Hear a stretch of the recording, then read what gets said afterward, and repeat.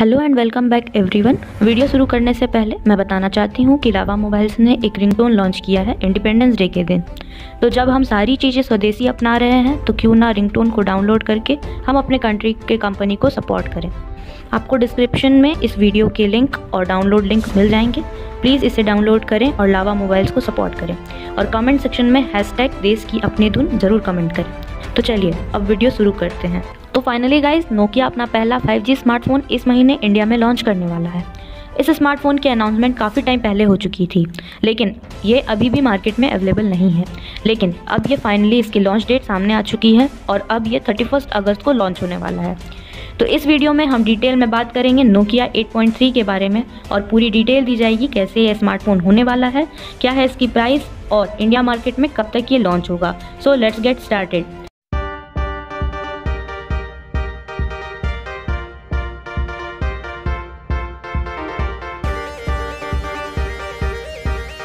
तो दोस्तों, जैसा एक्सपेक्टेड है कि थर्टी फ़र्स्ट अगस्त को ग्लोबल मार्केट के साथ इंडिया में भी ये लॉन्च हो सकता है और अगले महीने से आप इसे परचेस कर पाएँगे। सबसे पहले बात करते हैं इसके डिज़ाइन के बारे में। तो डेफिनेटली ये एक अट्रैक्टिव और स्टाइलिश देखने वाला स्मार्टफ़ोन है।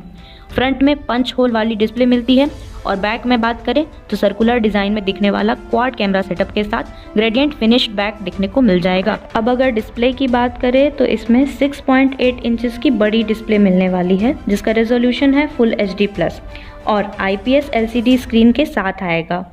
अब अगर इसे अपग्रेड करके एमोलेड स्क्रीन देते तो ज़्यादा अच्छा रहता। बट स्टिल डिस्प्ले की क्वालिटी तो अच्छी होगी, लेकिन इसके कॉम्पिटिटर्स से ओबियसली कम क्वालिटी होने वाला होगा। नेक्स्ट बात करते हैं इसके परफॉर्मेंस के बारे में। तो इस फ़ोन में आपको स्नैपड्रैगन 765G चिपसेट मिलेगा, जो कि वन प्लस नॉर्ड में हमें देखने को मिला था। तो अच्छी बात यह है कि ये 5G चिपसेट है। इसके अलावा हमें 4GB और 6GB के दो रैम वेरिएंट के साथ 64GB और 128GB के दो स्टोरेज वेरिएंट मिलेगी। रैम हमें L P D D R four X मिलने वाला है तो ये भी एक अच्छी बात है। तो परफॉर्मेंस वाइज हमें कोई शिकायत नहीं होने वाली है गाइस नेक्स्ट बात करते हैं कैमरे की तो इसमें 64 मेगापिक्सल का सेटअप मिलने वाला है, जिसमें 64 मेगापिक्सल का मेन सेंसर है 12 मेगापिक्सल का ultra wide sensor 2 megapixel depth sensor और 2 मेगापिक्सल माइक्रो शॉट्स का कैमरा दिया गया है। और फ्रंट में 24 मेगापिक्सल का फ्रंट कैमरा मिलेगा। तो कैमरा क्वालिटी आप डेफिनेटली अच्छा एक्सपेक्ट कर सकते हैं नोकिया से, लेकिन रियल क्वालिटी तो लॉन्च होने के बाद ही पता चलेगा। बात करें बैटरी की तो इसमें 4500 mAh की बैटरी मिल जाएगी, जिसके साथ 18 वाट का फास्ट चार्जिंग का सपोर्ट भी मिल जाएगा। तो बैटरी बैकअप तो डेफिनेटली अच्छा मिलेगा, लेकिन चार्जिंग टेक्नोलॉजी अपग्रेड हो सकता था 27 वाट के फास्ट चार्जिंग से। अब कुछ और इन्फॉर्मेशन की बात करें तो इस स्मार्टफ़ोन में साइड माउंटेड फिंगरप्रिंट सेंसर मिल जाएगी 3.5 पॉइंट mm ऑडियो जैक और हर तरफ़ से सेंसर भी मिल जाएगी।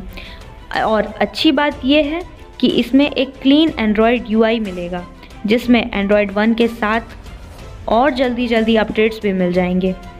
ये बात हुई इसके स्पेक्स के बारे में। अब बात करते हैं इसकी प्राइसिंग की तो अभी नोकिया के तरफ़ से इसकी प्राइसिंग कंफर्म नहीं हुई है। लेकिन अगर नोकिया के कंपटीशन में बने रहना है तो 22,000 से 28,000 के रेंज में इसको लॉन्च करना होगा। वैसे तो बहुत गलत काम करता है नोकिया प्राइसिंग के मामले में लेकिन 22,000 टू 28,000 के रेंज में लॉन्च करने से वन प्लस नॉर्ड को कड़ी टक्कर दे सकता है। तो देखते हैं गाइस 31 अगस्त को ये लॉन्च होगा तो क्या होने वाली है इसकी प्राइसिंग तो बस गाइस इस वीडियो में इतना ही। मिलते हैं अगली वीडियो में और लावा को ज़रूर सपोर्ट करें guys till then stay safe and stay healthy and subscribe my channel